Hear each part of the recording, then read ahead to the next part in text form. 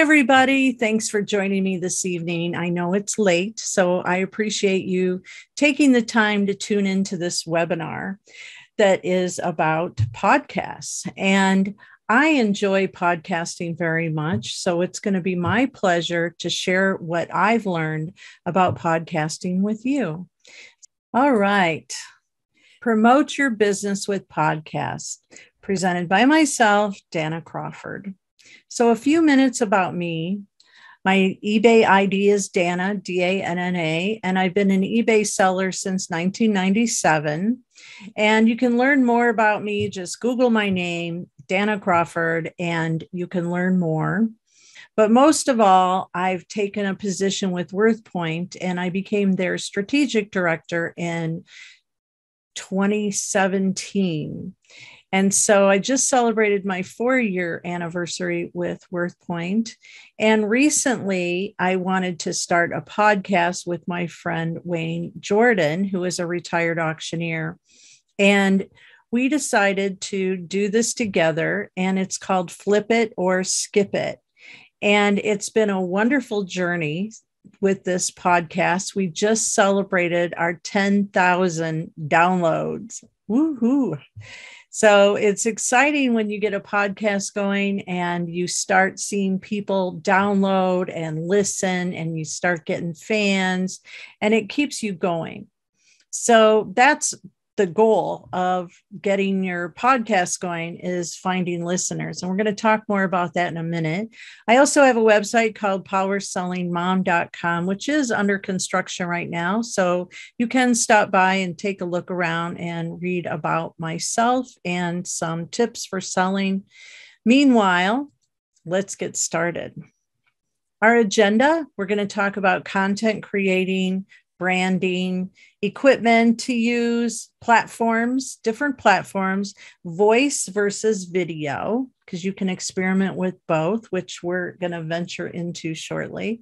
Sponsors, WorthPoint is the sponsor of our podcast, and also about adding commercials to your podcast. I'll share our tips, my tips that I've learned with Wayne, graphics and logos, and I'll finalize with a few final words, and then we will have questions and a drawing. So let's dig in. Why podcast? So you're here today, obviously, because you want to learn about podcasting or you're thinking about jumping in and experimenting to become a podcaster. So, why do we podcast? We want to build authority. You're already an expert in your industry. So, why not share more information about that?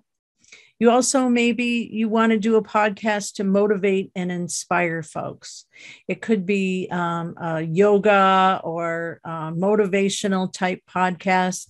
Whatever it is, you definitely want to inspire, no matter what kind of uh, podcast direction you go with. But it is all about motivating people. Valuable content you want to provide valuable content. It's not all about me, me, me, buy my product. It's about providing valuable content that is going to educate. And you should be passionate. If you're going to share a subject, you want to share a subject that you're passionate about. Just don't pick any any old subject. You want to have a subject that is of interest to you. Also, you can use it to brand yourself. It's part of the branding process for your company or your business. And it's also helps with marketing. Podcast is a part of the marketing journey. It gives you another avenue of marketing your business. You can also have an affiliate. So say you there's an affiliate program that you belong to at a brand that complements your business, you can promote those affiliate links and during your podcast and have affiliate promotions. Maybe you have an affiliate code that you would get credit for and earn money from. You can also become an influencer. There's a lot of influencers out there. It's like a buzzword nowadays. And Influencers do very well. I've done well as an influencer on different topics. So, if you become an authority in your field that you're passionate about, it's very likely that you could be tagged as an influencer and asked to do some speaking or some um, marketing uh, with their product. So, now we need an audience we can start with our customers. If you have a business, you can start with the customers in your business, encourage them to tune into your podcast. You can also turn to your friends and family. I mean, that's where we all kind of start. I first thing I did was reach out to my mother and said, please listen to my podcast. So you can start with your friends, your family, and your relatives. Also, you can share it on social media and you can find audience that way. But if you have no audience at all and you say, I don't want to reach out to my family and friends, I don't have any customers, or if you don't have a database of customers, or if you just are not comfortable marketing on social media, well, there are other avenues. So here is the results of a survey that was taken from this company, thepodcasthost.com. And they took a survey with 780 people. I thought it was very interesting. 41% of them have never run a podcast. 41. So you're not alone. 40% prefer to search their listening apps directory to discover new podcasts. Podcasts are judged mostly on the description and then their episode titles. How about that? People don't care if they've never heard of the podcaster. You don't have to be famous or their guests. 28.9% of listeners will give a show up to 15 minutes to hook them. 27.5%, on the other hand, will only give it five minutes. So keep that in mind. The vast majority of listeners are fine with ads and podcasts within reason. Going too long can lose more listeners than going too short.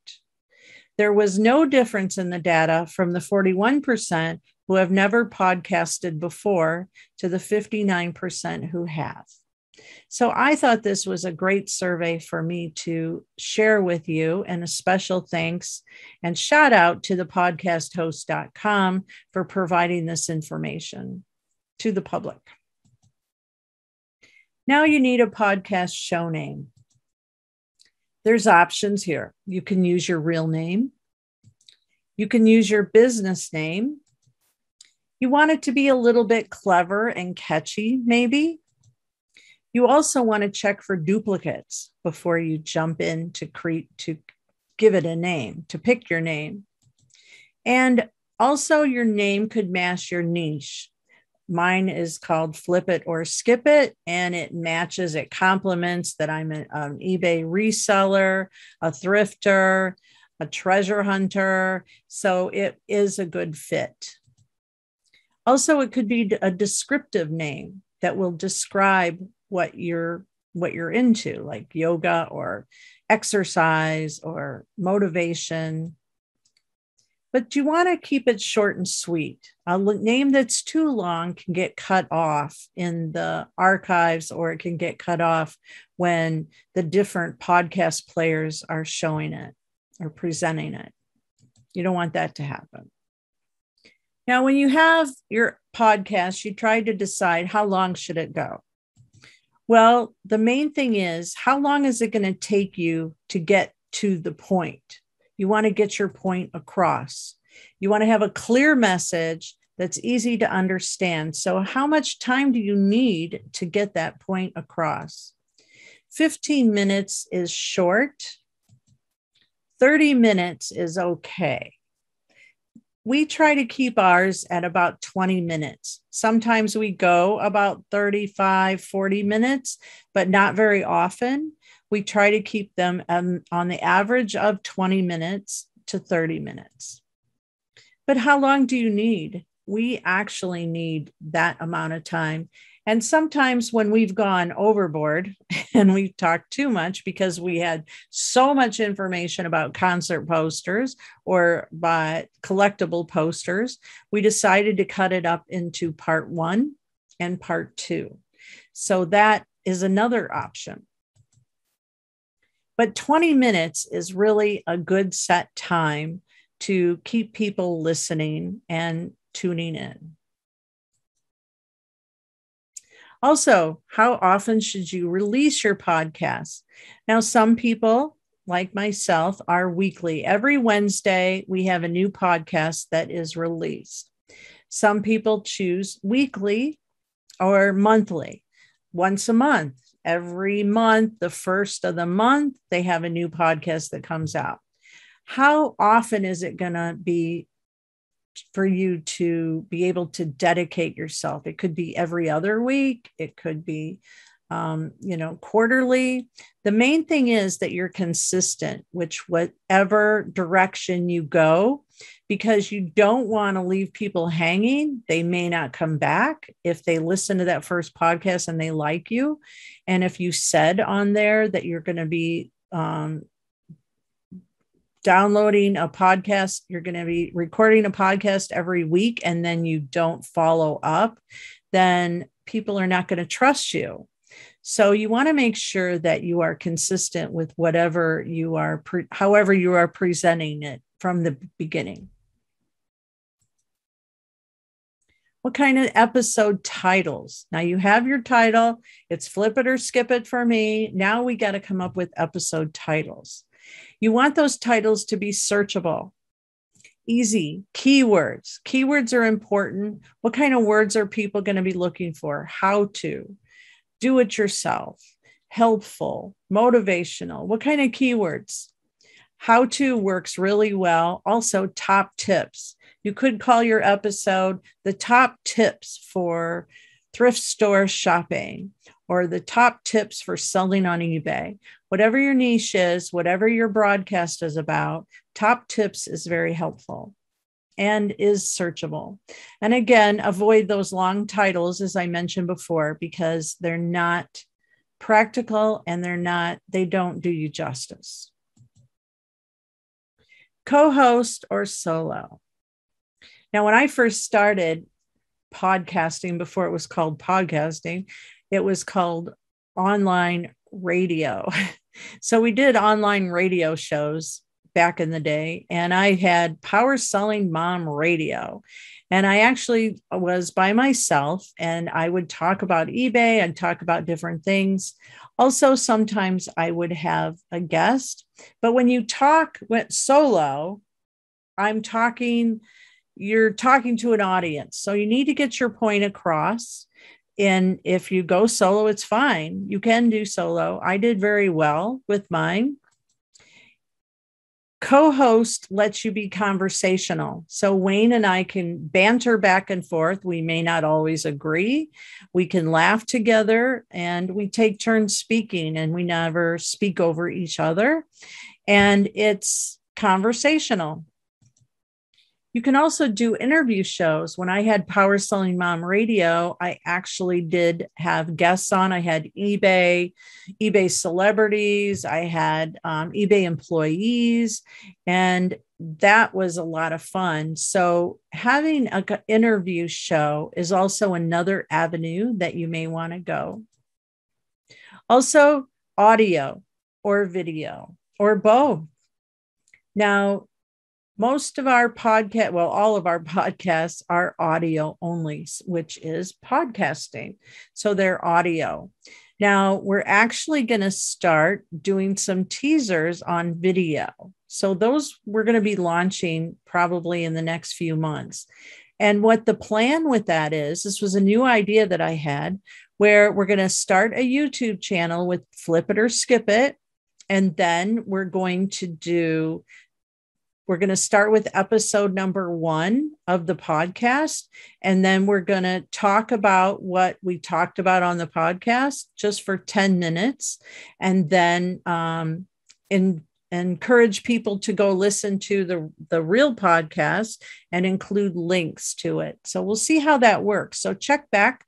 Feel free to email me and see how that works, or do a Google search for Flip It or Skip It on YouTube and see if you can't find how we're doing and subscribe. Now, there's different ways for you to do your podcast. There's lots of tools. Um, here are the most common, which is a computer.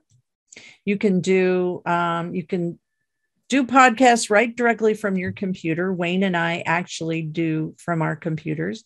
You can also use a smartphone, which a lot of podcasters are doing, especially the the young folks. they use their their phones for everything and also the smart pad you could you could create your podcast directly from a smart pad. So it's up to you. You can also um, make a decision on what kind of a device you're going to use. Now i wanted to share i am speaking to you right directly from my blue yeti that's sitting on the desk here.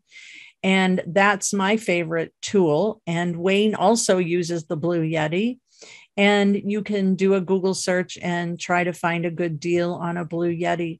But there's a picture of the exact ones that we have, and you're welcome to um, explore. There's also all types of microphones that you can check out. Some people use um, the microphones from their phone, which, if you have um, a smartphone, it probably has a very good microphone. They also are, there's attachments you can add to your phone or to your smart pad and then clip on a little microphone on your shirt. And those are very powerful as well. So you could kind of look at different ways. How much money do you want to invest? Or do you want the best?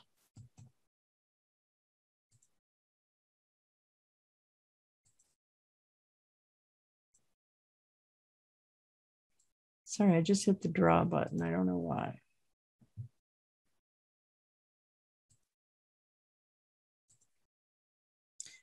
Recording and editing software. So, yes, you will need some software to do your recording and your editing. So, there is editing involved. Now, here are a few there's Restream, there is Audacity, and Adobe Audition. I thought I'd share a few with you that you can use. Now, I know some people that just use their Windows program right directly from their desktop or their laptop, and that works wonderfully. You can also use the recording tools right directly from your smartphone, which will record for you that way. Also, you can check out which ones are free and which ones have paid features. Now, most all of them have a free section that if you want to add more, then it's a paid feature. So you can explore and test out different um, software that's out there. So I suggest you just try to look around, Google it, test out some of the tools that are available, do some recording, and then see what kind of um, offers they have for free or paid versions. You can also outsource. There's a lot of people that actually will record and then they will send it to someone else to do the editing. So that's an option as well. Now, I wanted to share with you what Wayne Jordan, my co host, does. He has these tools that he is very happy with. So we can recommend. The first one is called Squadcast, and that is the tool that we use to, to record our podcast. And here's what Wayne had to say they record each participant at their source rather than having the recording made at a single source. The sound is clearer and it's much easier to edit and balance the separate tracks than try to accommodate multiple sources of noise and volume levels.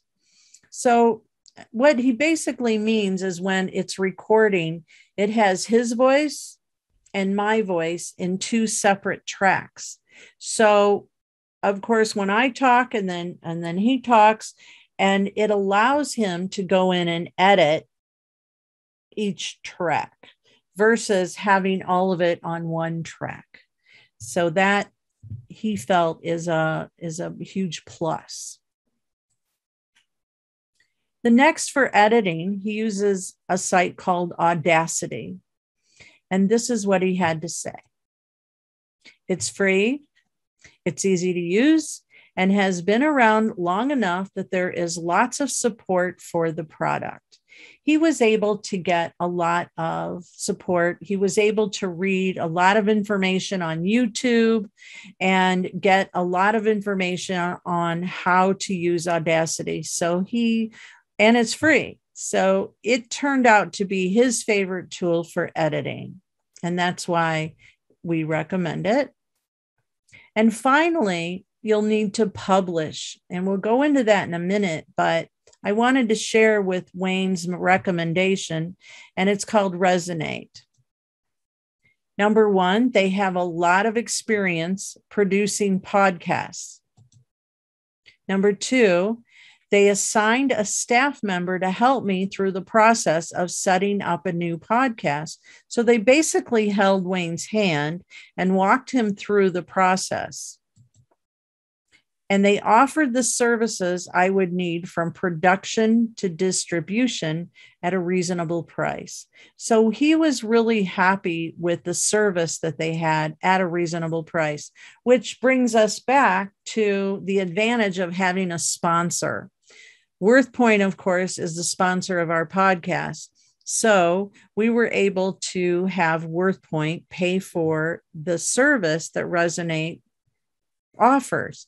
This is an opportunity for you to also take advantage of. If you find, start approaching sponsors, ask them to sponsor your podcast, and this is the amount that you need for sponsorship. You'll include a commercial and so on. It's a win win.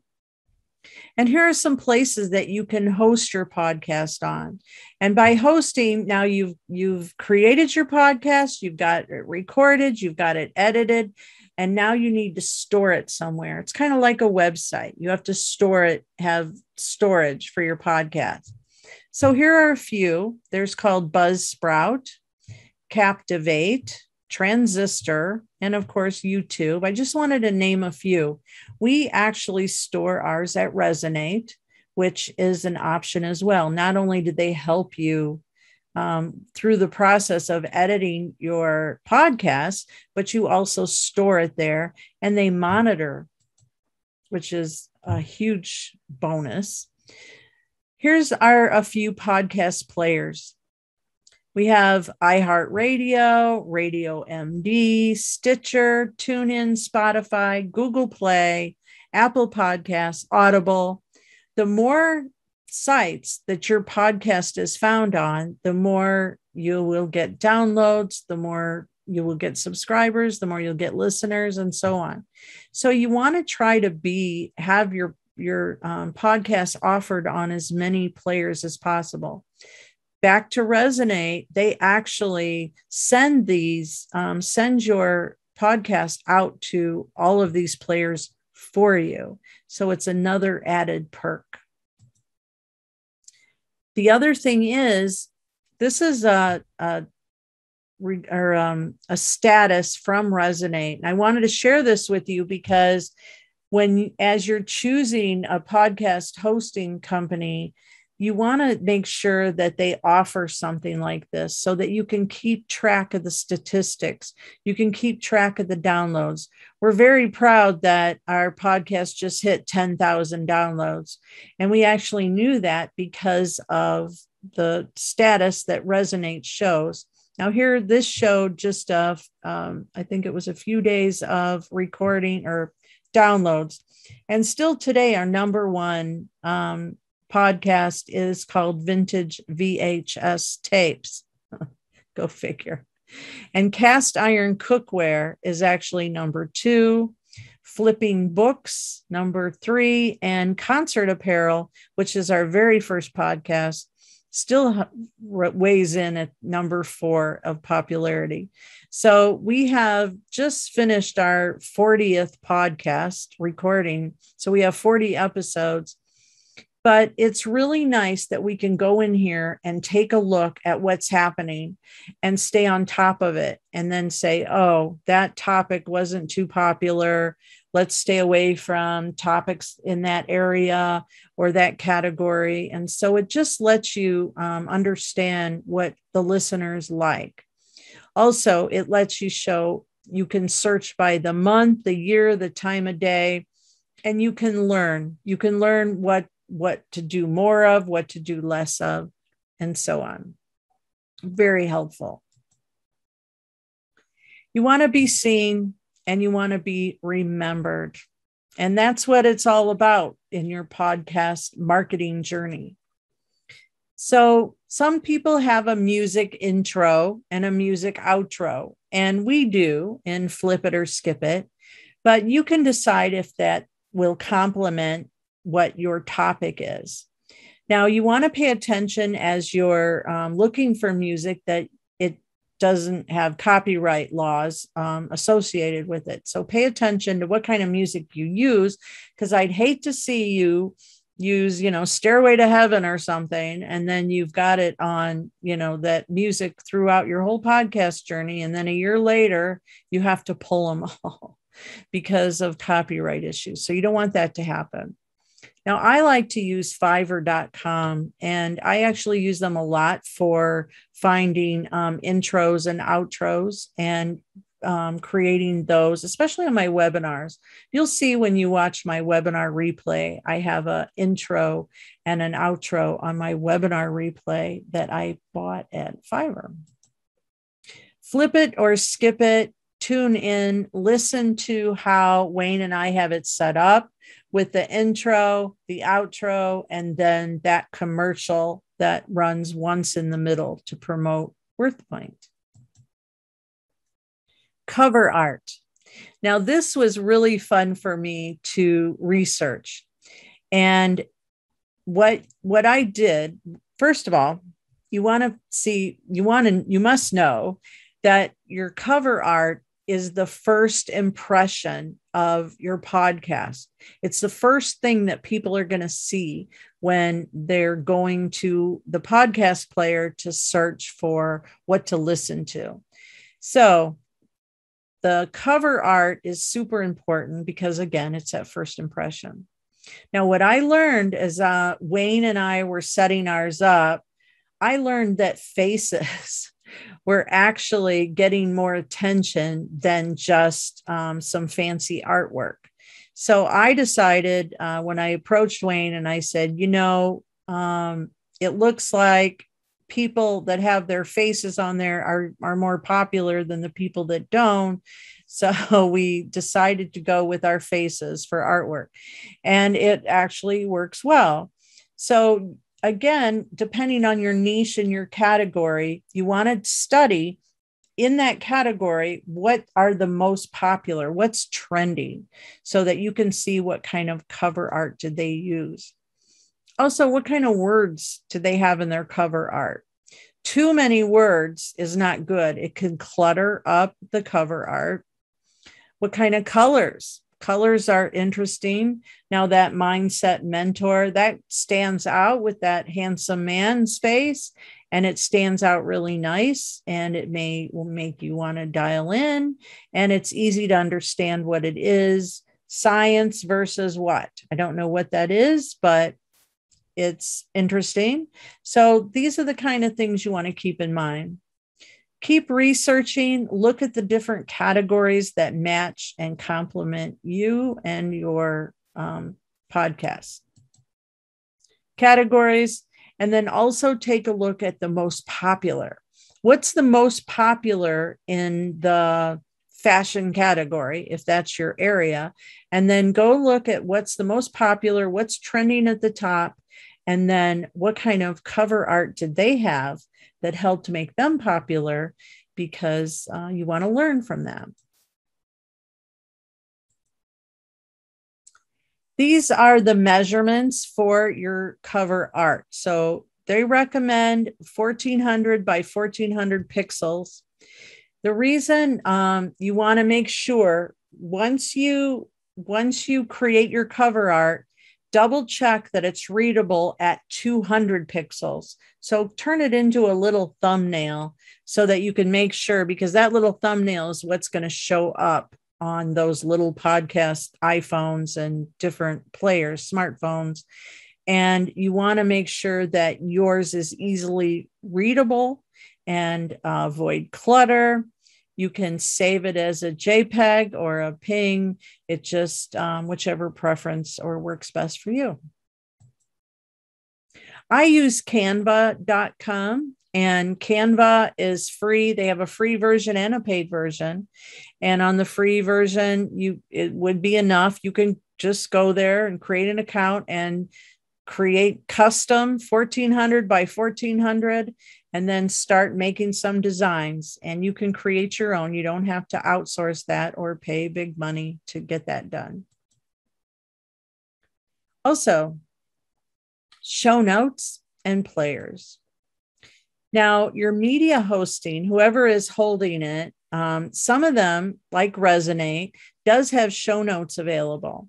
And what show notes do is they are a breakdown of your podcast. It doesn't, it's not the transcripts. It's just little, it'll say at two minutes and five seconds, Danna talked about whatever. And then it just has the breakdown of the time. Resonate actually includes that. We also include those show notes on a page over at WorthPoint. So WorthPoint also gives us um, a website at their location. So if you type in flipit or skipit.com, it'll actually take you to a page that WorthPoint lets us use. And then we put our podcasts on there so that people can play them. So if you go there, you can click on any of the episodes and then it'll take you to the show notes and to the podcast player. There's also free websites out there that you can put that you can set up just like we have set up over at flipitorskipit.com.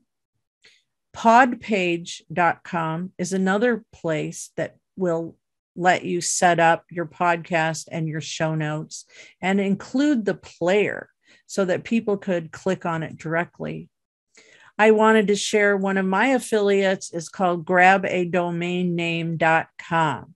So if you type that in, that'll take you to purchase a domain name very cheaply. And um, it is my affiliate link. And then you can um, start putting in whatever your name you're thinking about. When you did your research, as we mentioned earlier, when you were trying to decide a name for your podcast, you want to also check the domain to make sure that you can purchase the name of your podcast. Is there nothing, nothing more frustrating than than creating a, you know, a brand, but you forgot to go look to see if the .com was available. So go to grab a domain grabadomainname.com, type in whatever it is you're looking for, and you can purchase that domain really cheap and then purchase it, sit on it, and then start working on building your podcast. And again, you can take a look at flipitorskipit.com and take a look at how we set up our show notes. Okay, final tips noise profile. What the heck is that? well, Wayne taught me about this and what a no, no, yeah, noise profile is when you log in and you're going to start your podcast, you sit there and have silence for like 10, 15 seconds because then that sets the audio off. I mean, it sets the sets it for you to do your editing later and it creates um, a noise profile. So it's very helpful, according to Wayne. Also, mute as needed. There's nothing worse than having a cough, um, clear your throat or those kind of things happening in your podcast. They happen to Wayne and I a lot. We we record at nine in the morning on Wednesdays, and so we'll you know stop for our coffee but you do um, we always hit the mute button before we clear our throat i think he caught me once and also you want to be in a quiet room you want to have a quiet area. And one thing I learned when I was being interviewed by eBay one time, and they actually use Skype. Well, they used to, they don't use it anymore, but they used to use Skype for their podcast recording. And one of the things they said to do is have some pillows and blankets. And I thought, what is that? Why are they telling me to have pillows and blankets? But then I found out it was to help create your own little sound studio. So if you had some extra noise over here or over there, you, you know, somebody mowing, I guess, or whatever, you could put some pillows and it's a cheap way to create a sound studio. And sit still. I know I tend to move my chair around and then I'm I'm moving my I'm clicking my keyboard and you know doing things and fidgeting. So you you want to try to sit still because believe it or not when you're moving around it not only changes the direction of your voice during the podcast and it moves away from the mic or whatever people don't realize that it's affecting the recording stay hydrated the more water that you drink, the clearer your throat will be. And I always try to gargle a little bit, even to help clear the frogs, the morning frogs out of my throat. So staying hydrated really is important. And also, you need good bandwidth. Sometimes I travel a lot and I'll need to do a podcast while we're on the road. So I will upgrade if I'm at a hotel, I'll upgrade to a, a higher bandwidth just to help things. Also, check your bandwidth at home. You can do a speedtest.com on your computer to see exactly how fast your bandwidth is because you want a good strong uh, bandwidth when you're recording because there's nothing worse than those gurgling sounds or um, you know that old fashioned dial up noise. And also just you know check your content on on what you're going to talk about. You could have a little outline and set that up ahead of time for your content so that you have a little bit of an idea. But I'll be honest with you, sometimes we're logging in and, and I don't have anything planned, but it all comes to me. And um, it's because we're the authority. I'm i'm the expert in the field and and i have a lot of knowledge in my brain and you all have knowledges in your brain too. So you have a lot of knowledge to share. So sometimes um, having an outline is very helpful but other times it all just comes naturally. And the main thing is for you is to have fun. You got to have fun because if you're not having fun, it's not worth it. Wayne and I have a blast doing flip it or skip it. So I just want to encourage you today as you're trying to make the decision to go the podcast direction or not that it is a lot of fun and it's it's a little bit of a learning curve on different things but you can do it if i can do it you can do it so, thank you very much for joining me today. I will be available for questions, or you can email me at danna at flipitorskipit.com and send me your questions. I'm happy to lend a hand if I can. You also reach out on Instagram on Flip It or Skip It podcast on Instagram and on Facebook. You can find us both, both of those and of course WorthPoint as well. So thank you WorthPoint for sponsoring everything and thank you everybody for tuning in. So if you have questions, you can just type it in. Thank you so much for joining me today. I really appreciate it and I wish you all the best with your podcasting journey. Bye.